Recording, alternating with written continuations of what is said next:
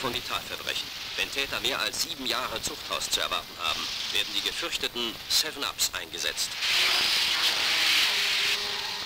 Los, Bobby, hinterher! Versuch ihn zu erwischen! Roy Scheider. In French Connection half er eine Million Dollar Rauschgiftring zu sprengen. Jetzt ist er wieder da, in einem Team von Superbullen. Ebenso skrupellos in ihren Methoden wie die Gangster, die sie jagen. Die Seven-Ups, deren ausgekochte Tricks sogar vom FBI skeptisch betrachtet werden. Er hat den Polizisten im Wagen erschossen.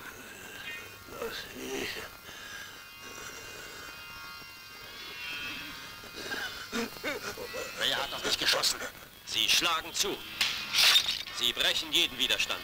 Und wer ihre Methoden kennengelernt hat, freut sich auf einen sicheren Platz hinter Gittern. Amexien, wer waren die Typen, die meinen Partner umgelegt haben? Ha?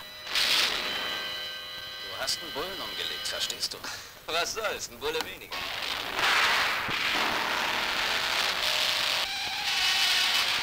Die Seven Ups, ein neuer Film des Produzenten von Bullet und French Connection mit einer neuen nervenzerfetzenden Verfolgungsjagd.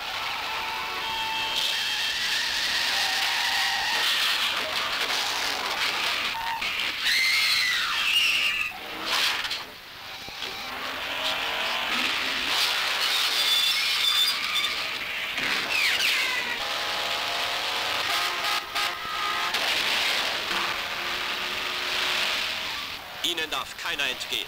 Ihr Job kennt nur eine Alternative. Killen oder gekillt werden. Daher sind Sie unerbittlich die Seven Ups.